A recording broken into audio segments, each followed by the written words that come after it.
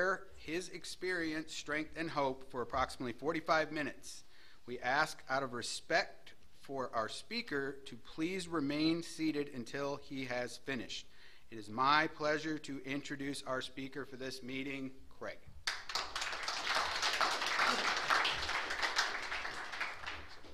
Thank you. Thank you, Tim. My name is Craig. I'm an alcoholic. Thanks, Mike, for inviting me out. Uh, some friends here. I'm glad you're here. Rick, Joy, Brenda, Garrett, a whole bunch of you. Um, I was thinking about uh, the name of this place, you know, uh, Safe Harbor. I thought, what, what a great name for an AA club. You know, and, and a safe harbor is safe if you have an anchor set. If you don't have an anchor, you're probably going to drift with the tide. And uh, this this is a great place to set anchor and even drag anchor if you have to do that for a while. Um, you know, I'll, I'll share some of my story, but I, I did not. I was not an alcoholic when I came here. I can assure you that. I, I was not. Um, I do have a home group. It's the Wadi group, the We Ain't Dead Yet group in Gilbert, Arizona. We meet Monday and Wednesday at 7 p.m. If you're ever in the neighborhood, please stop in.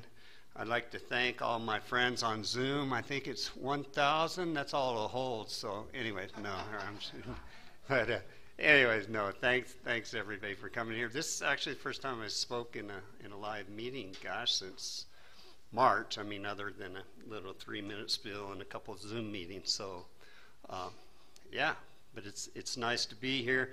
My sobriety date, I have one. It's uh, February 28th, 1987. Uh, I have a sponsor. He knows he's my sponsor.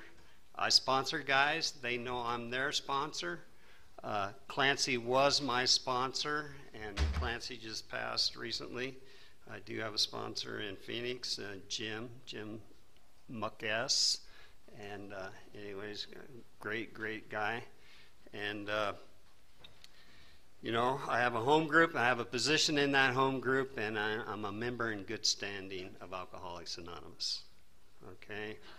Um, I, I did not come here to get sober, I did not come here to find God. Um, Actually, I, I, I got my first big book. I brought that tonight. And uh, I'm going to read just a little passage here. Says, this is, this is the first time I came to Alcoholics Anonymous. It says, For Craig, Saturday, November 3rd, 1984, your fifth day of sobriety at the Saguaro Club. Thanks for unlocking the Mazda, Ron Bond, and has his phone number. Uh, I was at the Saguaro Club and uh, some guy locked his keys in his car, and I just I was pretty surprised that there weren't more alcoholics that didn't know how to get into locked cars. But uh, anyways, and and he had he had a he had a trunk full of these big books, you know, hardcover, and and he gave me one. But uh, and and I went to that meeting. The only reason I went to that meeting was uh, I was in college and in a psychiatry class, and uh, uh, one of the students in there had wrote, written a paper on the 12 steps. And for whatever reason, the professor broke his anonymity. And so I went up to this guy after, after class and I said, you know, he said something about going to meetings. And I said, hey, would you uh, take me to one of those meetings with you? And he said, sure. And so he, he took me, and it was a SOAR club, and it was uh, 34 West Dunlap, okay? And if you walk in there, I'm not very tall, but I had to duck, all right? And the fans were all, re- they're about ready to fall. The smoke was about six feet off the ceiling, you know, and everybody in there was about 100 plus, about as old as I am now, you know. And, uh, you know, and then, but there was, there was one gal in there, and uh, they were giving her a cake for one year. And I said, well, isn't that nice? They're going to give her a cake for. Uh, not drinking on the weekends or not drinking during the week. And they said, No, Craig, she didn't drink all year. I, I just, I didn't believe it. I, I couldn't wrap my mind around that. And there was another younger guy next to me, and he tried to commit suicide the night before.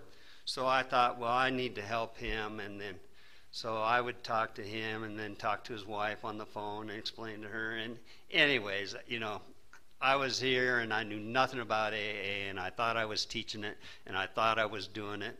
And what I know today is I was never here, I was window shopping.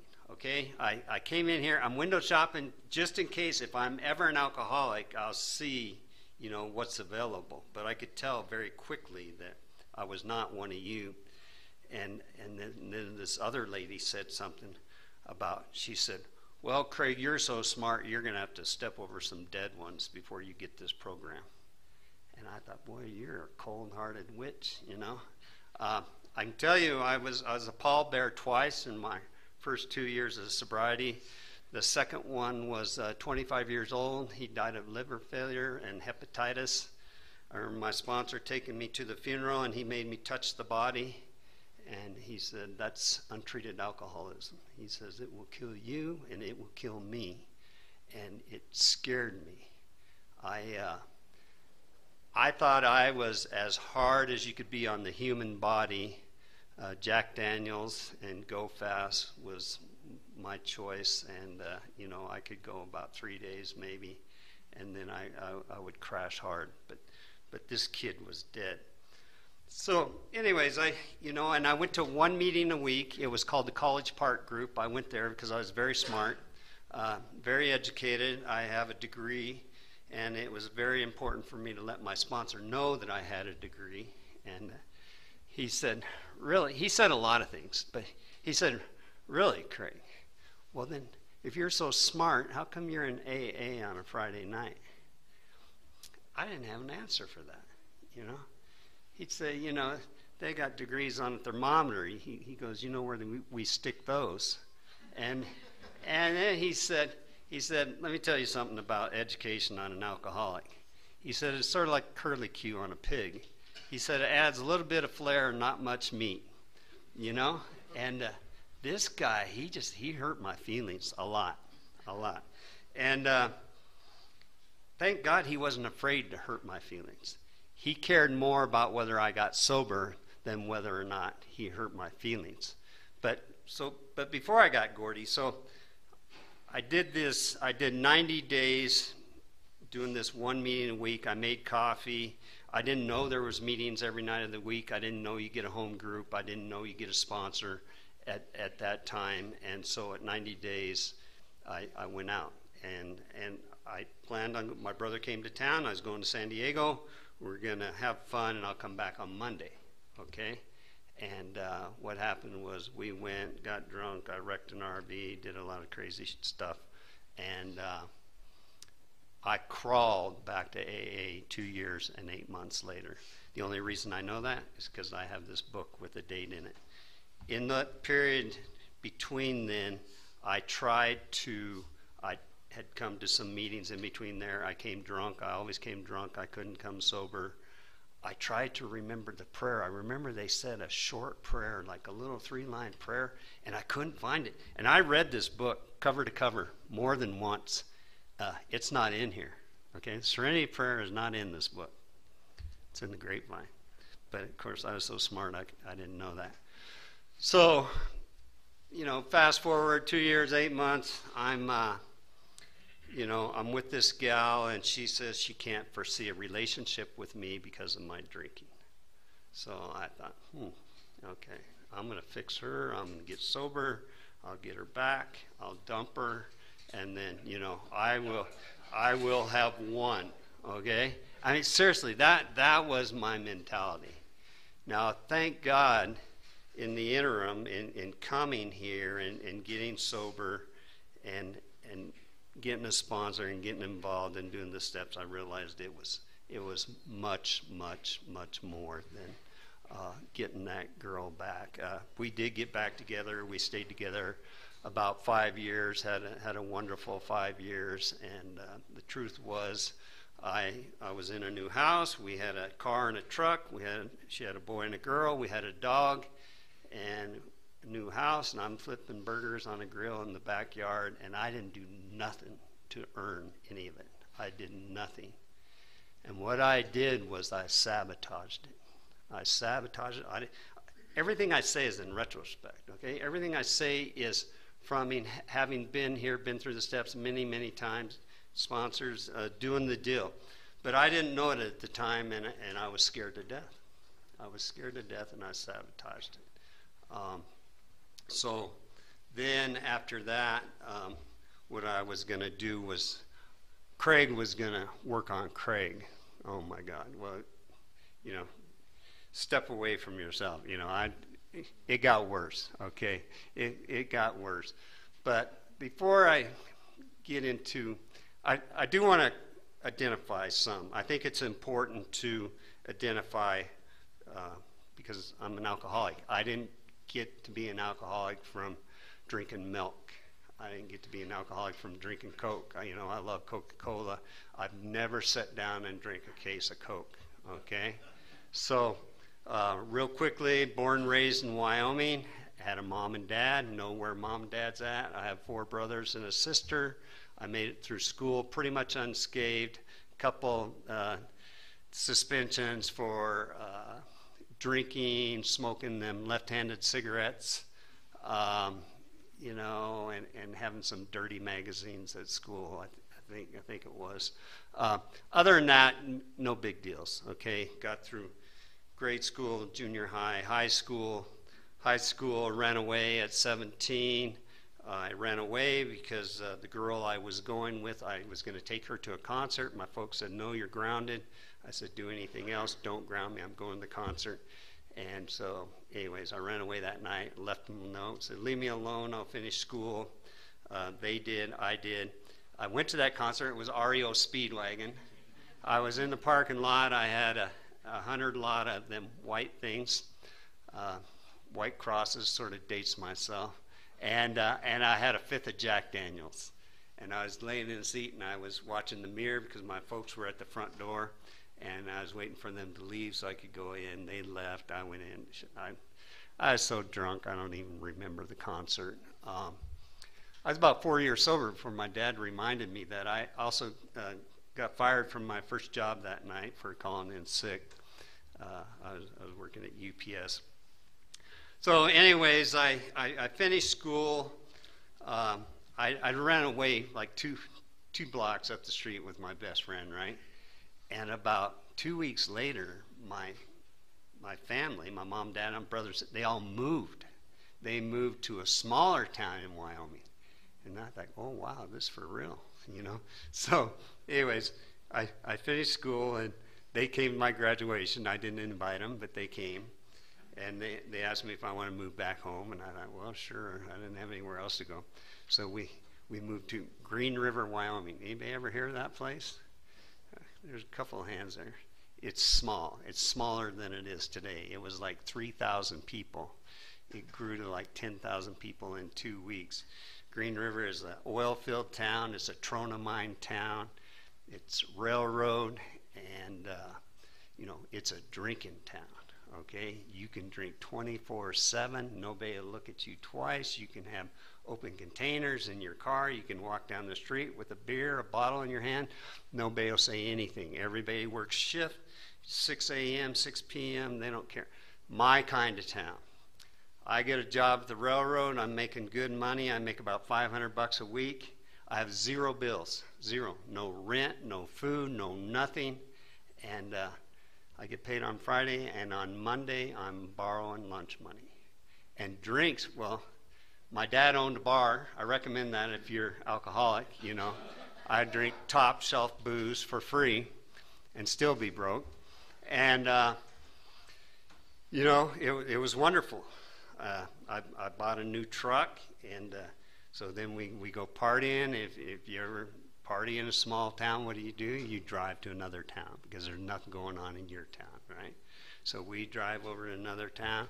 We got drunk. It's Christmas time we're coming back, and uh, I come to on a gurney with uh, my parents and cops next to me telling me my brother didn't make it and having me sign a DUI. Now, I was 20 years old,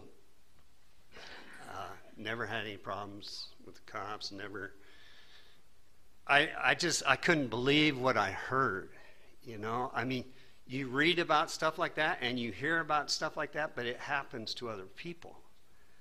And uh, I just couldn't believe. So immediately I say I hurt and I don't hurt. They give me a shot of something, um, and that that was that. So that doesn't make me alcoholic. Okay, I was alcoholic way before this act. I was born alcoholic. I I know that today. I did not know that then. So with my best plans, my best intelligence, my plan now is to drink and drive. As sober as I'm up here tonight, I could have taken a gun and blown my brains out, no problem. But I couldn't put mom and dad and the rest of my brothers or my sister through any more pain. So now I'm, I'm going to drink and drive and I'll die. And they'll say, poor Craig, look what happened to him. You know, same thing that happened to Carl. And so I did that plan for 10 years. This was 1977, okay? and I got sober in 1987. So it, it's it's 10 years, and I gave it my best shot. And I ran hard and I drank hard and I wrecked a lot more vehicles. I didn't kill anybody else, thank God, or myself. Uh, I wrecked some vehicles. I did some DUIs. I I never did any time. Uh, D- DUI laws are they're, they're so much different today, and especially Arizona's got the toughest DUI laws in the country. Um, had the laws been in effect that today as then, I'd, I'd be in prison forever, forever. You know, because it doesn't matter if you drink and drive and kill your mother, brother, sister, father. Today, you're going to prison for a long, long time. So, about 10 years of running and gunning and uh, the alcohol worked for a long time. The alcohol would shut my mind off. It would allow me to live with what I had done. It was the only thing that would shut this off a little bit. I went to a lot of doctors, a lot of psychiatrists, a lot of counselors, a lot of sociologists, a lot of different places. My parents tried to help me, a lot of doctors, a lot of people tried to help me. Um, I didn't know. I didn't know what was wrong with me. Nobody ever said, Craig, you're an alcoholic. And if they did, I never heard it. I never, ever heard it. And uh, so now, though, I'm, I'm 10 years into this deal, and, and, and I just, the alcohol doesn't work anymore. The alcohol will not shut this off anymore. I can't get drunk enough. I can't stay drunk. I can't get drunk. I can't get sober. And so now I'm, I'm going to do this. Now I, I am going to do it. But I am an academic, so I like checking boxes off the list. And I thought, well, you know, maybe I should give this A and A a try.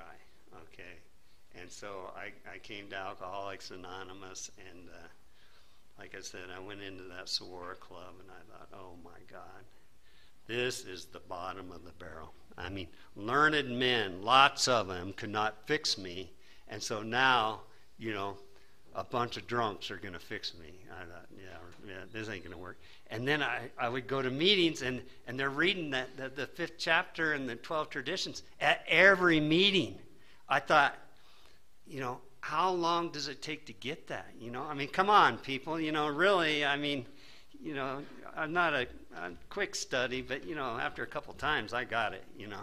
And so it's amazing, in spite of my arrogance, arrogance, in spite of my pride, in spite of myself, God seen fit that I could stay here. And so, and I didn't come here, like I said, not to be an alcoholic, not to find God, not to. What I'm what I'm doing now is I'm going to prove AA don't work because so I can go do this. And uh, so they said, well, if you want to join AA, you got to get a you got to get a home group, and you got to get a sponsor. You know, and they said, uh, they said if you want to join Coffee Drinkers Anonymous, you can do that. If you want to join Grab Ass Anonymous, you can do that. You know, or Meeting Goers Anonymous. But they said if you want to get sober, you got to join Alcoholics Anonymous. You know, and, and and have a sponsor. So I listened to guys for a little while, and I listened to this one guy. He had a pretty tough story, or he sounded sort of tough. So I said, "Well, I'll ask him." you know, and, and so I did. And we, we went to coffee after every meeting. None of the meetings started before 8.30. We had coffee, cake, pie after every meeting. You know, it. Thank God, it, it saved my life. But I, I got this guy Gordy as my first sponsor, and so I thought he, he was a pretty nice guy, or at least in the meetings he looked pretty nice. But then we went to coffee, he just sort of he set me in this booth, and me and him got in this booth, and everybody else was over here having cake and ice cream, and and he just started reading me the riot act. You know, you're going to read this book. You're going to call me every day. You're going to uh, sit in the front two rows. You're not going to get up and go to the bathroom. You're not going to get up and get coffee. You're not going to talk to women. You're not going to get women's phone numbers. You're, you're not going to talk.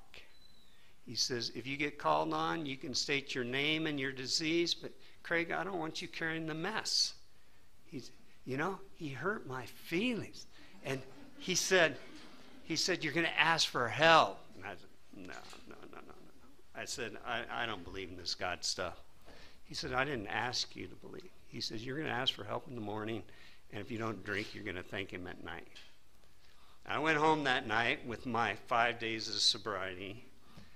I was alone, and I got on my knees and I said a prayer. I said, God, if you're out there, please help me.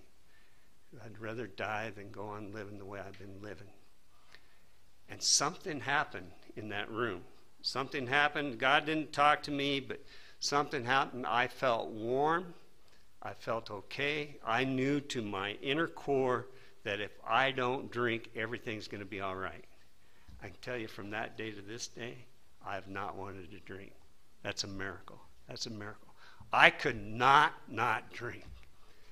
I would I would go to my brother's grave and I would swear that I'm not going to drink and I'm going to make something of my life and I'm going to do something worthwhile and I'm going to go to school and I'm going to do this.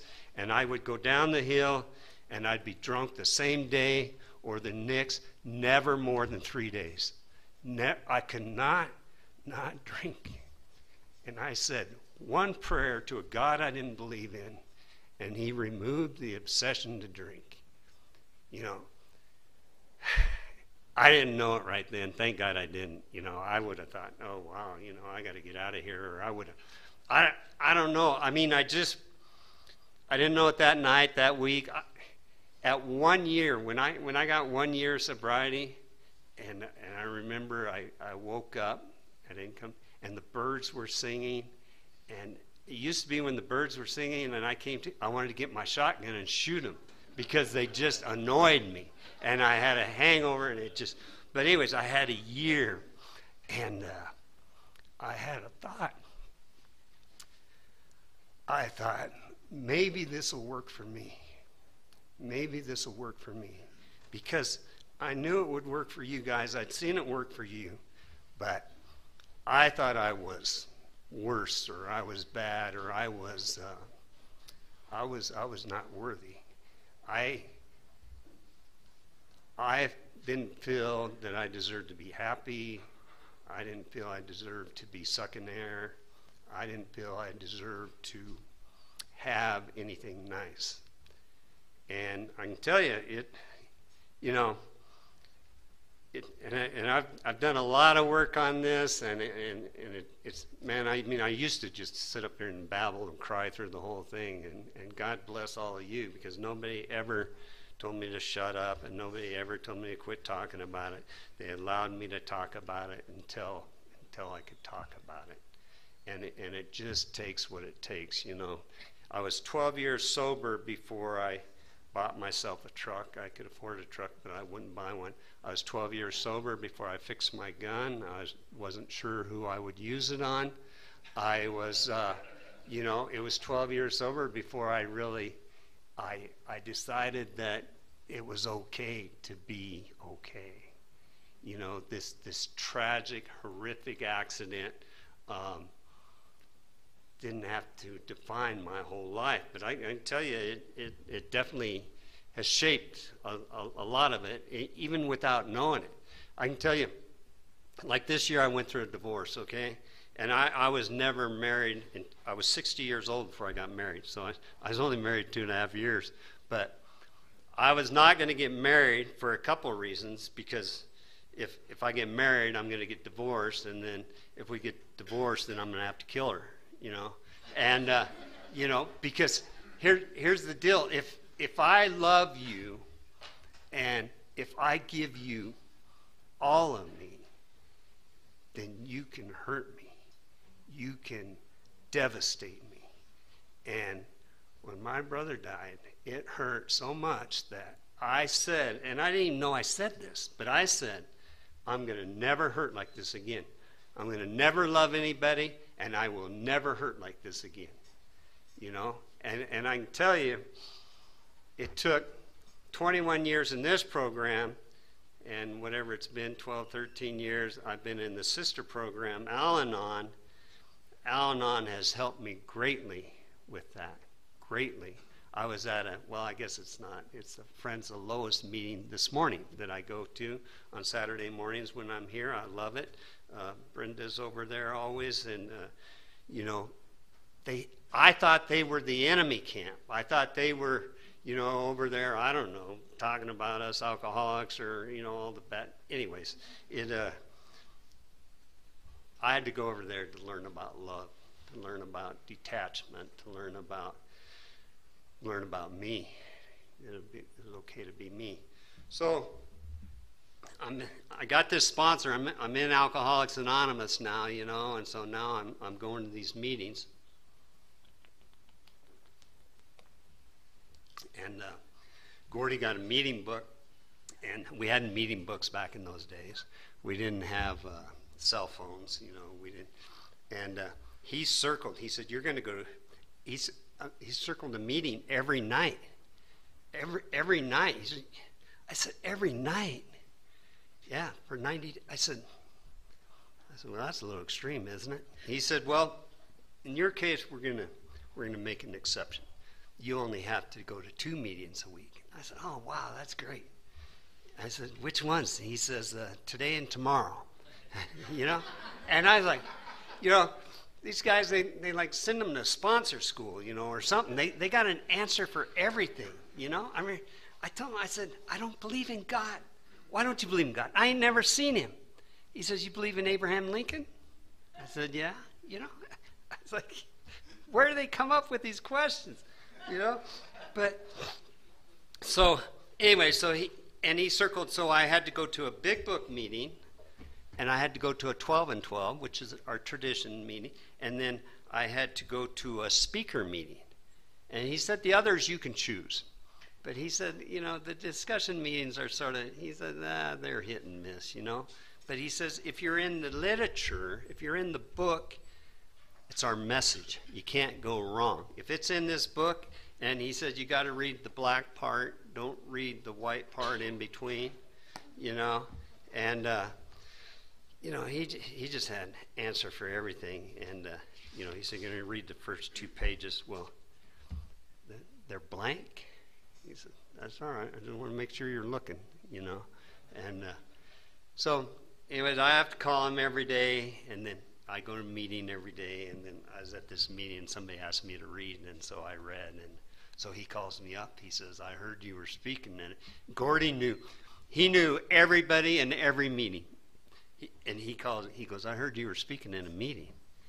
I said, "Well, I, somebody asked me to read." He says, "Well, okay, that's all right." But you know, he's, he says, "You're not going to talk until we get through the steps. At least, you know, halfway through the ninth step." Because he says, "You know, we we have way too many people teaching AA that haven't even been through AA," and he said, "It waters down AA." He said did you like your whiskey watered down? Hell, I drank whiskey out of the bottle or on the rocks. That that was it. Uh, beer and wine. I, I didn't think beer and wine was liquor. I when I drank just beer and wine, I, I considered myself quitting drinking. You know, I mean, I want liquor. I want to get downtown now. You know, I mean, right now. I I none of this slow, none of this sippy. They've come out with so many drinks since I sobered up that, you know, Zima or whatever, Zuma, I don't know, whatever it was. I thought that was water, you know. I thought, no. Anyways, so so, anyways, I get this home group, and then he says, "Well, you you you got to get a position." And and thank the greeters that were were out there tonight. I'm glad. You know, they used to the greeters used they used to call them sniffers, and the purpose of the greeters were to sort of lean in and greet you, but they were also sort of sniffing so we could tell if you've been drinking. So then they would go get somebody that had been sober to, you know, go talk to them. That was the way, you know, it was it was identification. There was there was a purpose for there's a purpose for all our madness, you know. But then he said he said, Well you gotta make coffee and I'm like, make coffee?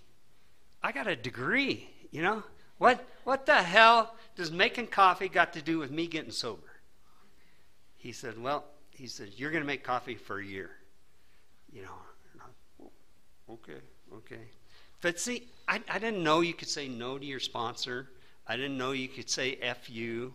I, I didn't know. I, don't, I just, I didn't know. And thank God I didn't know. Thank God I didn't know because I was desperate enough. I was teachable. I was teachable. I was willing. If you told me to roll a marble down Central Avenue with my nose, I would have done it. I would have done it because I didn't want what I had. And I wasn't sure what you had, but I wanted some of it because I would come here and you guys would be laughing and you'd be have a little twinkle in your eye and, and you know you just and I'd I'd be waiting out there. I was like there was damn little to laugh about when I got here. You know I it, I I wasn't laughing. Okay, you know he I'd tell him well how smart I was and he said really well let's see let's see you're 29 years old you're living with daddy you're driving daddy's truck. You're about ready to uh, lose your job. And, uh, you know, he says, what's, what's so great about your life? You know, and I, God, I, how's he know? I didn't tell him that. How, how's he know that? And then when I came, or the first night, now it was February, and it was in Arizona, and it used to be cold in February, believe it or not. And I had on short shorts and a tank top, and I was sweating and I was shaking, and they all knew I was new. And I thought, how the hell do they know I'm new? You know?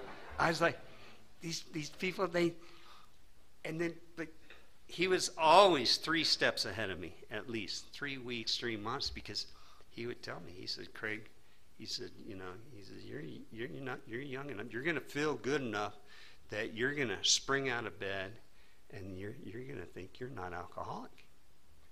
And that was exactly right. By the third day, man, now maybe not, maybe about the fifth day, you know, the, for five days I, I shook some. I didn't sleep really well.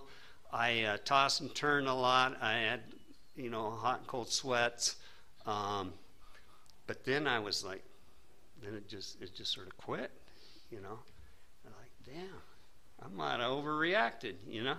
But but he told me, he said, Your mind's going to tell you you're not alcoholic.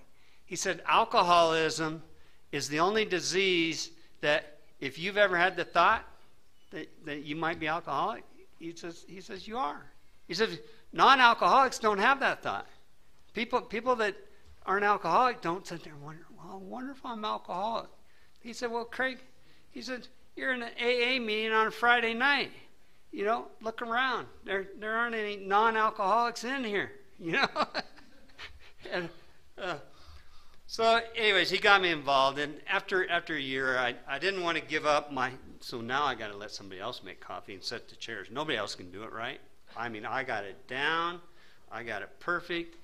Oh, one other real quick. Uh, they made decaf coffee, and I said, well, I don't drink decaf, so I made regular coffee. Well some of them got upset. So they said, well, we got to have group conscience. And so they had group conscience. So I sort of won in the sense they told me I could make decaf and regular, you know. But, uh, another, but they always, you know, they always don't tell the group what you're doing if you, if you don't want a group conscience. Don't get a sponsor even. If you don't want to get sober, don't get a sponsor because don't ever tell them nothing.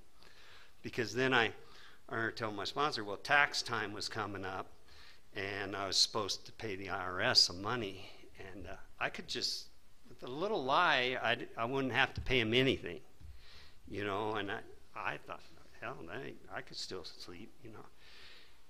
And he says, Craig, he says, you can't be honest here in AA and dishonest over here outside of AA. He said, this is, you're, you got to be all in.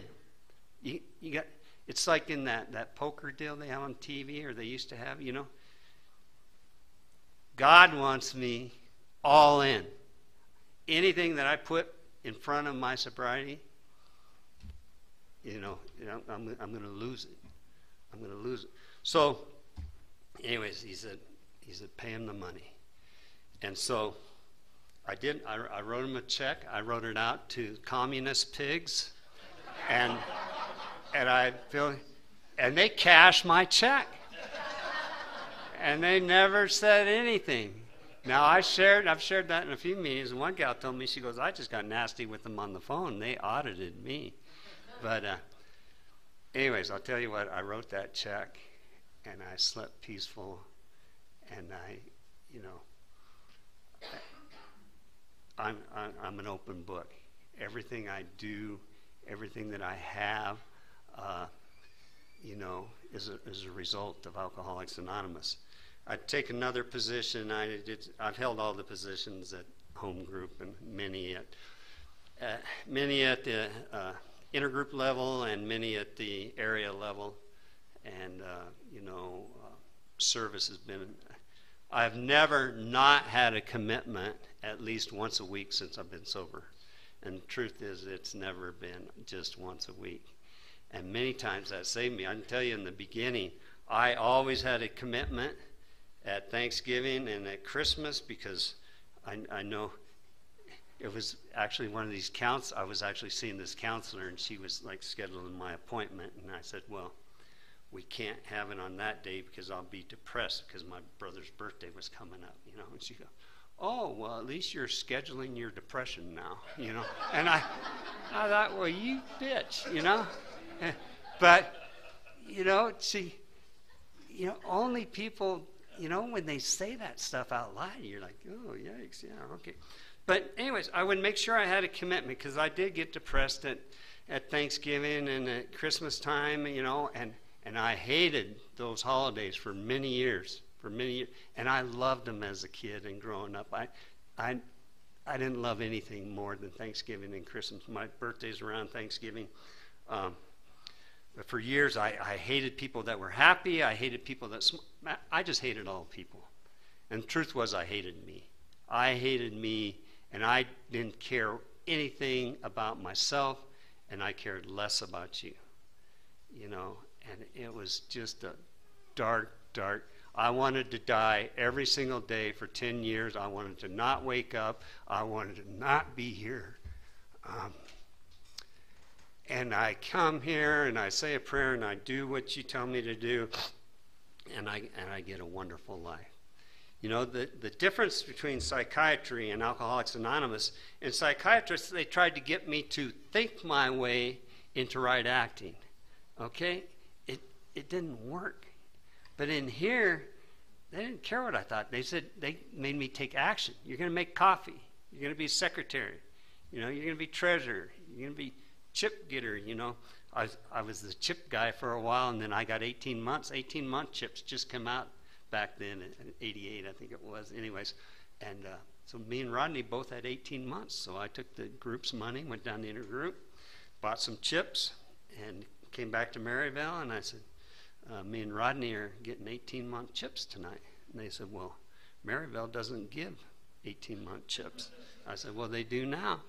And so I gave me and Rodney a chip that night, and they had to have a group meeting. And, and, and I lost. Oh, I was pissed. I had a resentment. I don't think I put that money back in the basket. I think I was 17 years sober. Serious. I, I was resentful.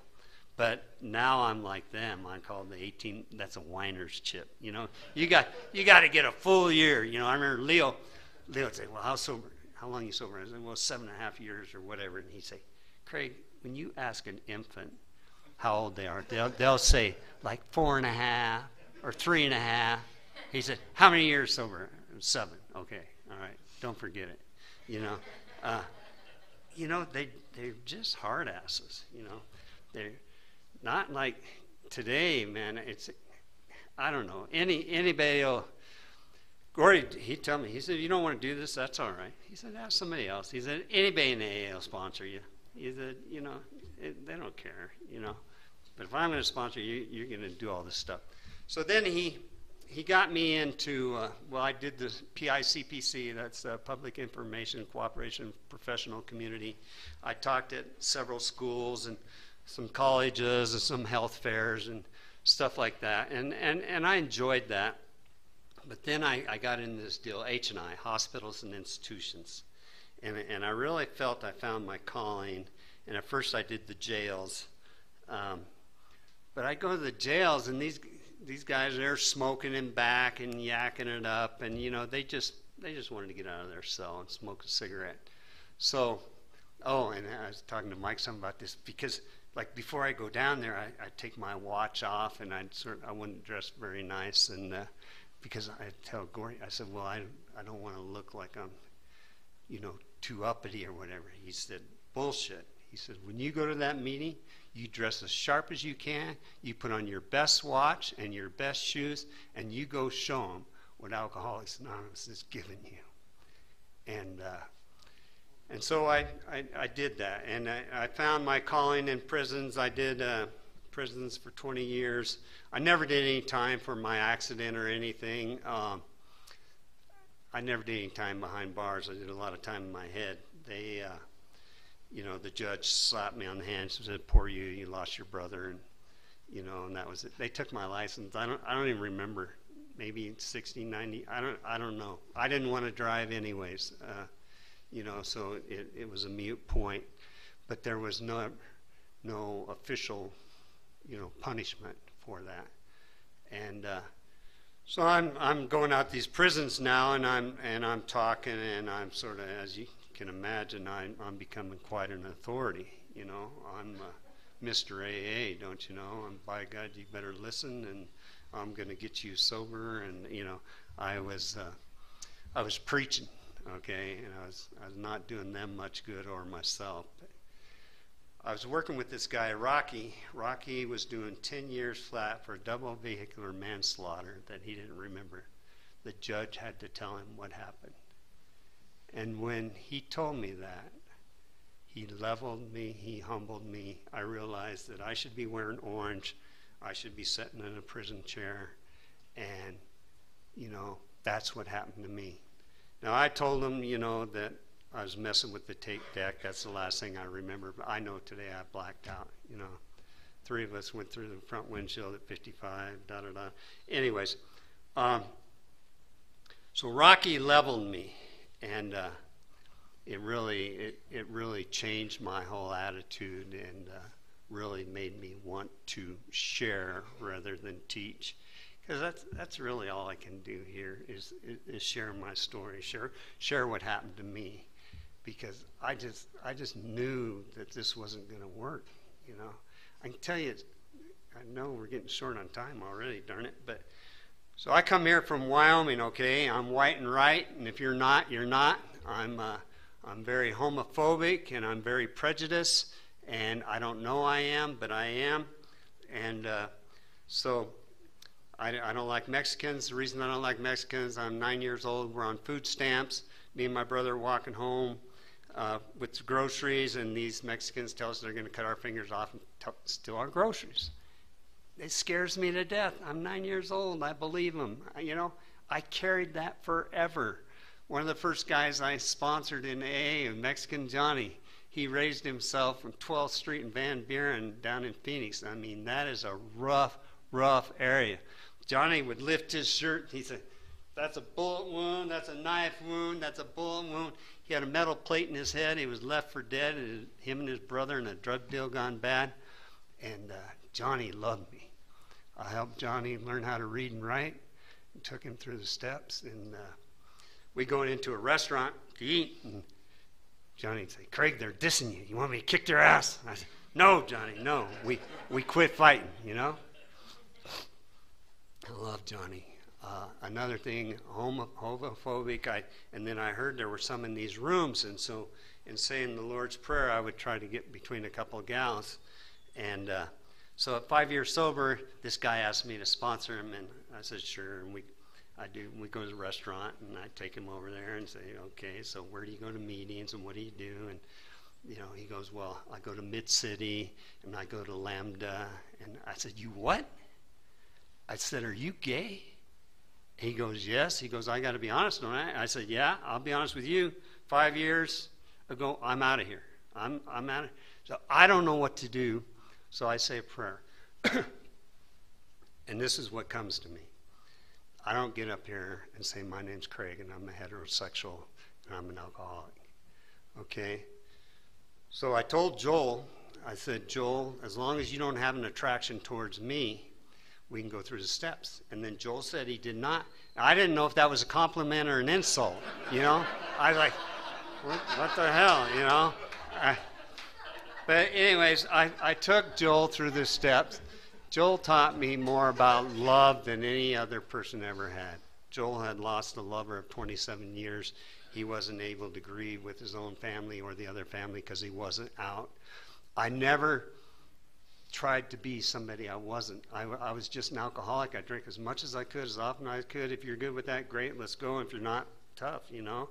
I didn't like try to have a girlfriend to try to be normal, to I, I didn't, that was a whole nother level that I, I didn't even understand, you know? Um, so what I've learned is, is my prejudice and my arrogance is out of, it's out of ignorance. It's, out of ignorance or it's out of fear, you know? The full circle of that story, 14 years sober, my brother comes to me, who's a captain in the Air Force and plays football and he tells me he's gay. And he's got a stack of books. He's also got a master's in theology. And uh, I said, That's all right, Kevin. Just be who you are. I love you. That, that would not have happened. That could not have happened without this. I can tell you, Gordy hugged me. He was the first man to ever hug me. And he hugged me in the meeting. And he was sort of like, you know, it was like one of them that's too long, you know what I mean? And, and he, I could sort of, he said, Yeah, Craig, everybody's looking. And I'm, God, you know, I just like, but then, and then I'd sort of try it, you know, I sort of try hugging my dad, and it, it, it didn't feel right. It got to where I felt right, you know. I got 30 wonderful years with my dad before he died. You know, he's buried over here, World War II vet. I've made all my amends that I know of that I owe. Uh, things are right with my dad my mom, all my brothers, my sisters. Um, I have a blessed life. I'm a blessed life because I was a pig, because I drank as much as I could, as often as I could, and, and I get this wonderful life. I've traveled all over the world and, and not on Zoom. I mean, I have on Zoom also, but I mean, I, you know, all over the world. I go to AA everywhere I go, you know, to Switzerland, to Italy, to Ireland, to Mexico, to Bermuda, Canada, I, all over, many places, many places twice. Um, sometimes I can't, I don't even know the language. I can't even, but I can feel it. When I'm in the room, I can feel the heart talk to the heart, and I'm just, I'm okay. Uh, if you're new, or even if you've been here a while, if you ain't plugged in, man, get plugged in. Uh, you know, it's it's we, it's the action. It's the action. A doesn't care what I know. It doesn't care it, it's the actions that I take. I need to keep doing this. You know, 32 years, 33 years of sobriety ain't going to keep me sober tomorrow. You know, what I do today. Um, I thank God for Alcoholics Anonymous. I thank you people for showing me my God. Thank you.